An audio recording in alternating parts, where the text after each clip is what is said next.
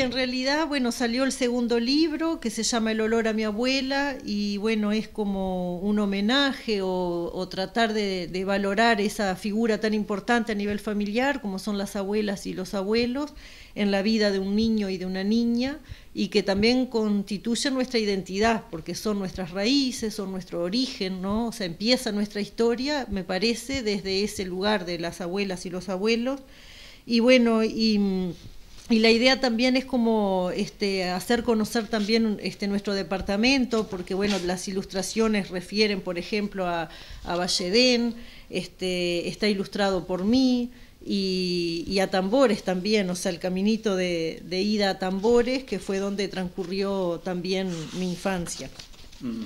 Es importante eso que decís, eh, porque tratás de plasmar experiencias propias eh, y también eh, con paisajes o diferentes lugares de Tacuarembó. Sí, en realidad es un cuento que es este, verdadero, digamos, porque aconteció así tal cual está en el libro.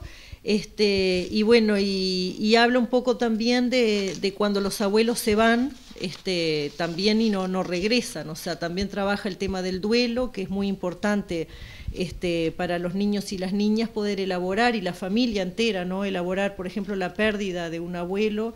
En, en mi caso, bueno, cuando yo lo escribí, mi mamá estaba viva, y, y, bueno, se había ido a un paseo, pero bueno, después lo que yo no sabía era que a, a, los pocos meses ella falleció y bueno, y quedé con el libro escrito y le quise dar como una vuelta este, ahí de, tuerca, digamos, con respecto a eso, a, la elaboración de una pérdida, de una ausencia que, es tan importante para la vida familiar. ¿Lo pensaste para niños de alguna edad en particular? No, en realidad los libros, este, los dos libros que, que yo he escrito este, están pensados para cualquier edad, incluidos los adultos porque trata de temas que son constitutivos de la, personalidad de, cualquier persona, ¿no? Eh, entonces, bueno, puede ser leído en familia, no importa la edad, porque en realidad los dos este, hablan de lo que es eh, la identidad, la memoria, la construcción de la identidad de una persona, eh, los orígenes y también el tema de la familia y de la niñez en general. Entonces un adulto, este, me ha pasado que han comprado adultos y me dicen es para mí. Este, y bueno, porque también te retrotrae a tu propia infancia, a tus propios vínculos, a cómo vinimos a este mundo, qué pasó cuando no este, aparecimos en la vida de una madre, de un padre. Entonces, en realidad, este, si bien es literatura infantil, porque yo quiero que los libros aporten a la salud mental de las niñas y los niños, en realidad puede leerlo cualquiera. Mm. Comentanos eh, sobre la primera publicación que ya hiciste.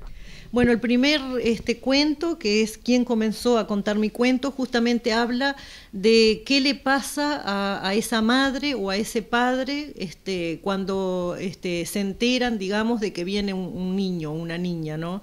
Y además este, también eh, plantea situaciones, por ejemplo, como puede ser la adopción, de un niño o una niña o, este, o, esas situaciones donde los niños son cuidados y criados por otras personas, ¿no? que puede ser un abuelo, una abuela, un tío, o, sea, otros cuidadores que no es la mamá o papá biológico, digamos. ¿no?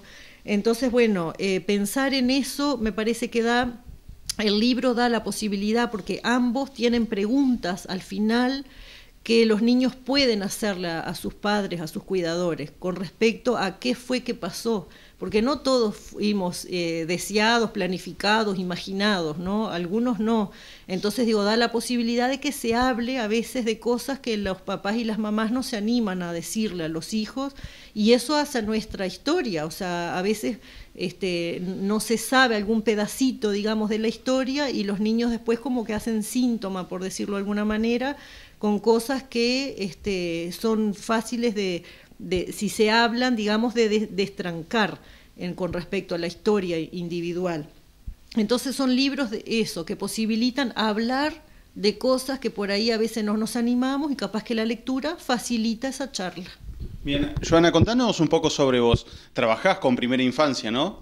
Trabajo, trabajo en Pueblo del Barro, en una casa comunitaria de cuidados con bebés de 45 días a 3 años este, los martes, hoy justo voy para allá, este, hace unos cuantos años que trabajo en Pueblo del Barro, y bueno, después en mi consultorio particular como psicóloga, y después como docente en la universidad, que es mi trabajo también. Muy bien. ¿Y los libros dónde se pueden encontrar? En Monigote pueden encontrarlos y en la librería Difusión. En las ambas empresas siempre me han apoyado.